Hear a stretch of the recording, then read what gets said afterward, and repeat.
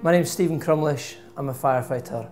I sold my property with McEwan Fraser at 139 Peasehill Road in Rosyth. I had been with another company for seven months prior to using McEwan Fraser and that wasn't very successful. I did see a few houses being sold by McEwan Fraser um, close by to my property so I decided to give them a call.